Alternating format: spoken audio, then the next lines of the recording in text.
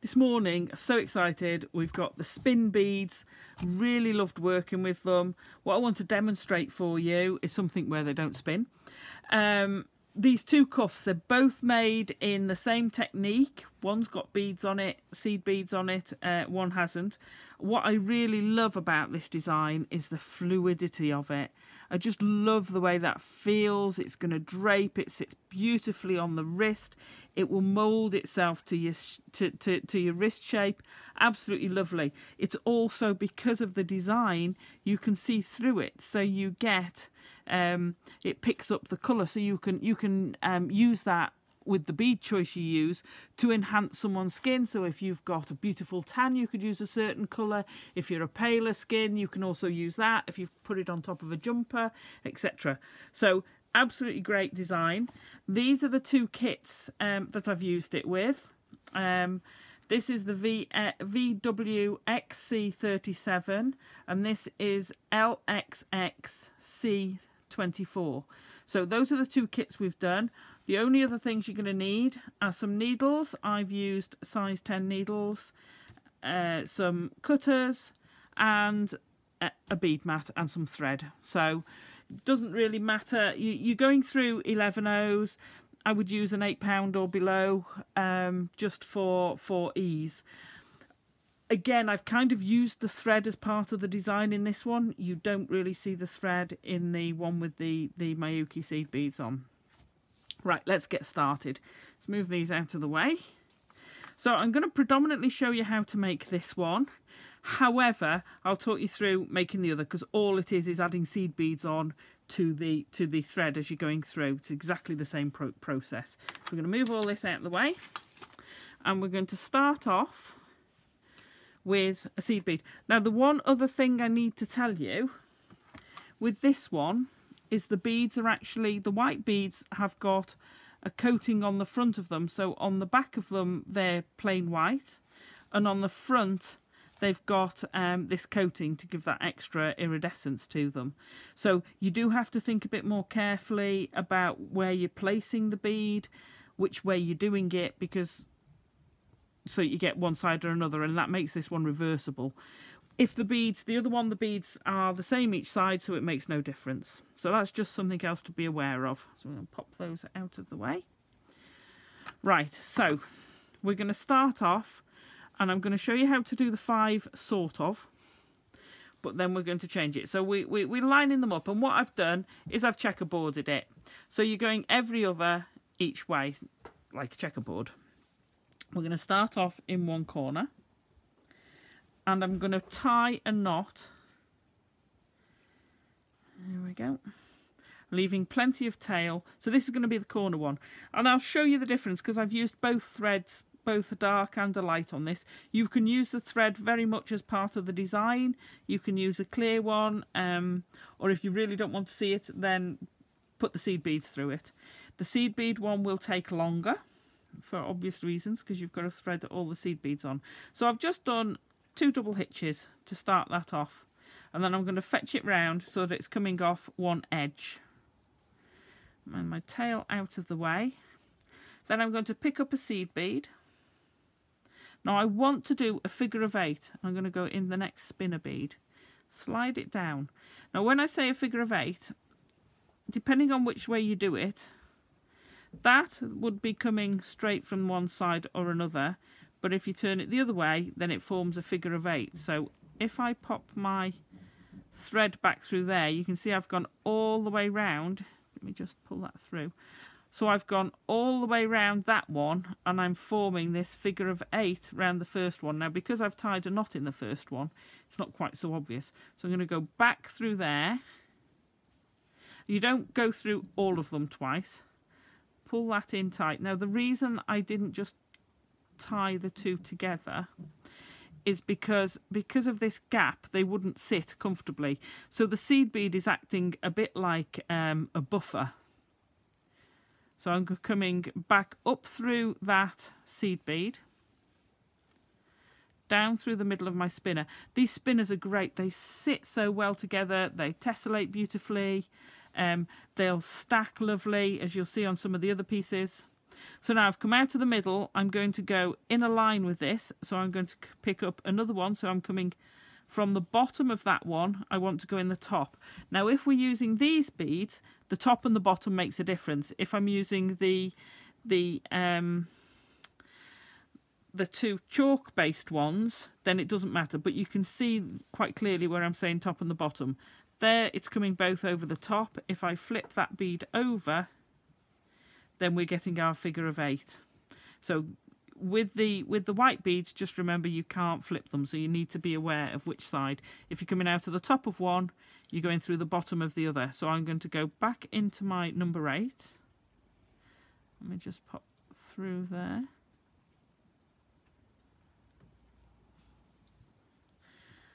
Back into my number, uh, sorry, number 11. There we go and pull it. So now you can see the, the figure of eight forming. Now if I go over the top side of that, obviously the figure of eight isn't complete. So I need to take that underneath and come up through the bottom. And then we pull that and that forms our figure of eight. And now we're starting to get our shape. So we go back through it and up. And we do this until we've got a line of five. Keep pulling them tight so if I move this over, you'll now see what I've, I've done a line of five, but this time with the white thread. So you'll see it less with the white thread. So you've got this line, they've got the little bead in. So on, on the on this the, the five cuff, the bead blends a lot more into the design, whereas with this, it's a real contrast point. So we're going to turn the corner now and come back down the row. So this time for the edge one, pick up one of your beads, pop on your spinner, slide it down, make sure you've got your figure of eight, and back through your number 11 and we want to go underneath. So I, I tend to hold it all together, come back up through, now, I have made a slight difference here, but you can play with these designs. Right, so let me pull this one up. And you can see I've missed the checkerboard. I should have had one of those to go there. But you could have rows. You can play with this design however you like. You can put diamonds in it, whatever. So we'll carry on with this. And at the moment, that'll twist. But it's about to be anchored now. Make sure you go back up through that centre. You should always be joining from centre to centre. Pick up your next spinner. So now we've got two to join. We've got to join the one it's immediately coming out of. Go back through your 11. Pull it to the end. And at the moment with these, it doesn't matter which way round you go. Pull it up and get it in the right place. Feed back through your number 11 uh, we come on. You will be doing it in a different angle. I'm trying to do it so that I don't get in the way of the camera. Which is operated by the ama amazing husband John again. Thank you very much we're going to now turn the corner. So instead of going straight back down the line, I'm actually going to tie it into the next one. So we're still doing our figure of eight. So we've come out of the top of there. We're going up through there. So you'll see this now starts getting some form. As you've seen, the design itself is very fluid. Form your figure of eight. Um, there we go. So you can see that's now tied those four together. Okay and you carry on doing that so we're going to go all the way down and I'm going to pick it back up and we've got three rows. Okay so I'm going to pop that one to one side.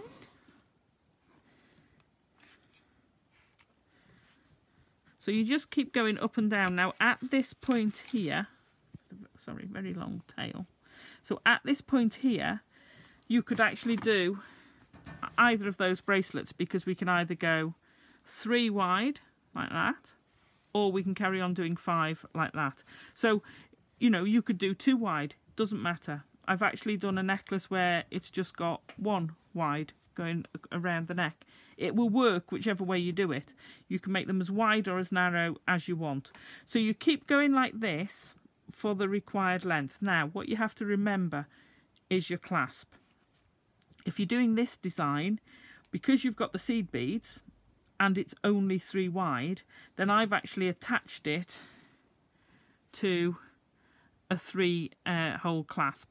And I've just extended the seed beads for that and I'll, I'll I will um, go through how you do the seed bead one in a sec. Okay? So there is actually not much space needed probably only a couple of centimeters to add the clasp to the design.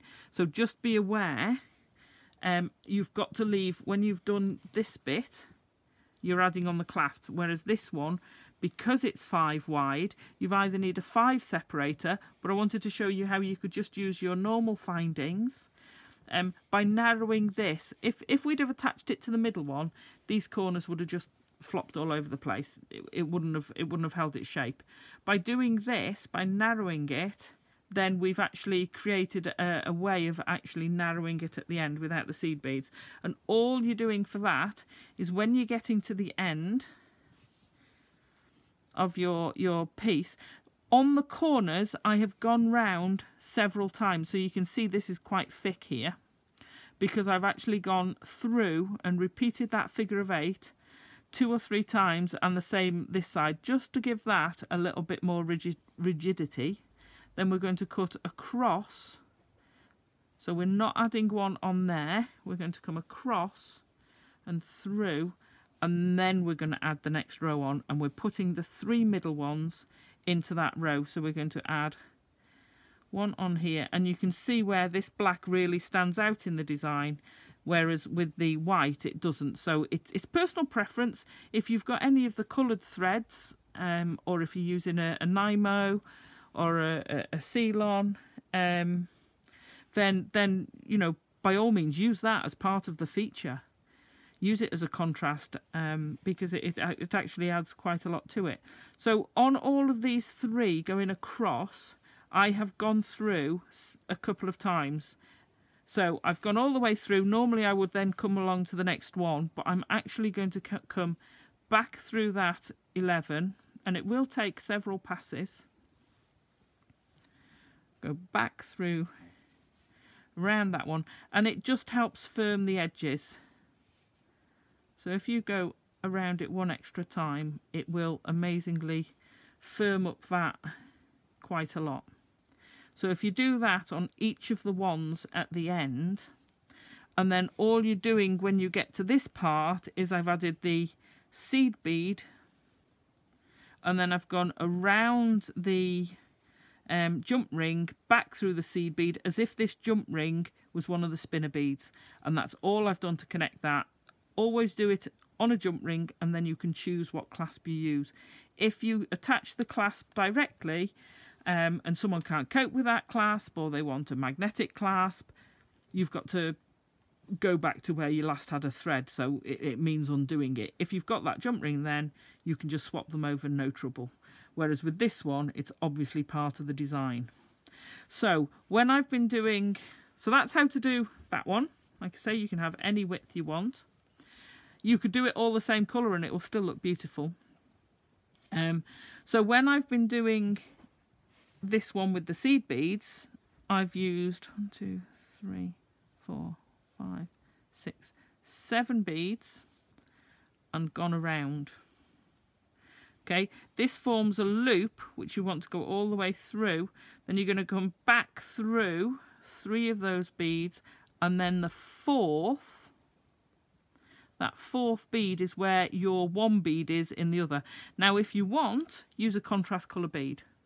Um, but to be fair, you've only got the few. So then just push that down. See how it's sitting around there quite nicely.